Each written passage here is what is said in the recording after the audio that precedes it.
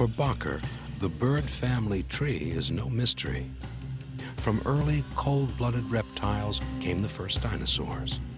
Then came the fast-moving two-legged raptors.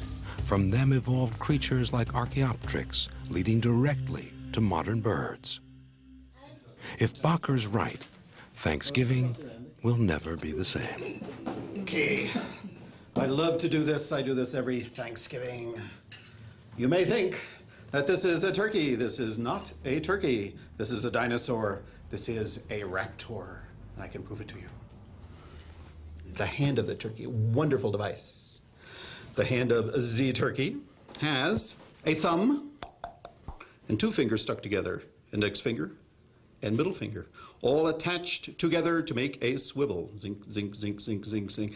No other animal alive today except birds have that kind of hand. Wiggle, wiggle, wiggle, wiggle, wiggle. wiggle.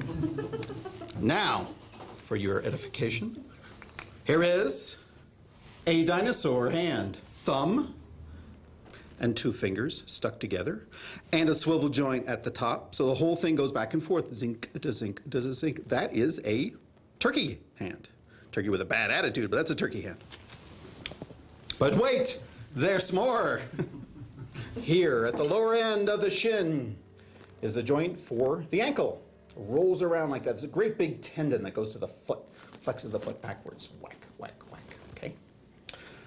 And right here at the bottom of your dinosaur shin bone is the same sort of joint. No other animal, extinct or living besides birds and dinosaurs, have this wraparound ankle bone. And finally, look how wide the hip bones are. That's all four thigh muscles, all that dark meat. Look at all the dark meat over here. Look at immense. If you dissect any other kind of animal besides a bird, you don't find wide thighs. You know, birds have wide thighs. Deinonychus has a thigh just like that. Nearly all dinosaurs do. So from shoulder to hip to knee to ankle, a turkey is a dinosaur. It is a living raptor. Do you believe that?